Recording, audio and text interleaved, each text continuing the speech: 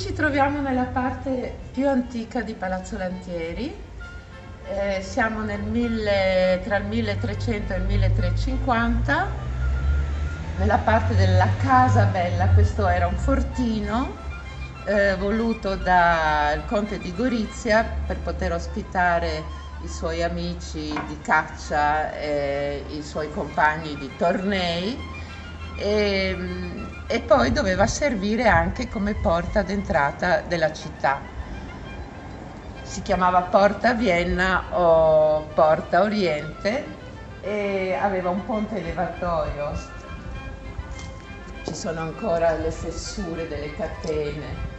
e quindi qui eh, eravamo proprio lungo le mura esterne della città e, ed era diciamo il primo punto di, di difesa per Gorizia. E soprattutto quando poi qui le cose non erano più molto sicure c'era un sottopassaggio che ci collegava con il castello, eh, la fortezza e il castello di Gorizia. Eh, l'entrata di questa, di, questo, diciamo, di questa galleria, di questo sotterraneo è purtroppo chiusa e si trova proprio all'altezza di eh, via Lantieri. I Lantieri che eh, avevano già molte proprietà nella valle del Vipacco eh, comprarono questo fortino e lo eh, ingrandirono. Tutta quest'ala venne fatta nel 1504 eh, fino al, a dove poi cominciava il monastero dei Francescani voluto eh, da eh, Sant'Antonio di Padova.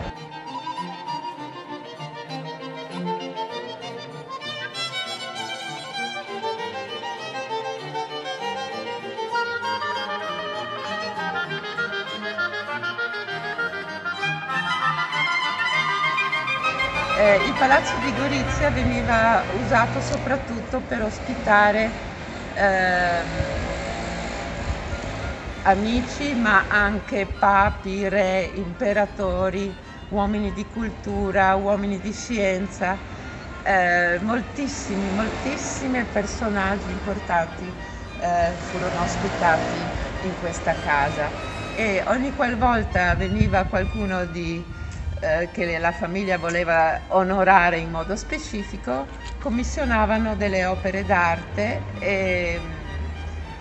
di cui posso farvi vedere eh, un affresco che era stato commissionato per l'arrivo di Carlo V.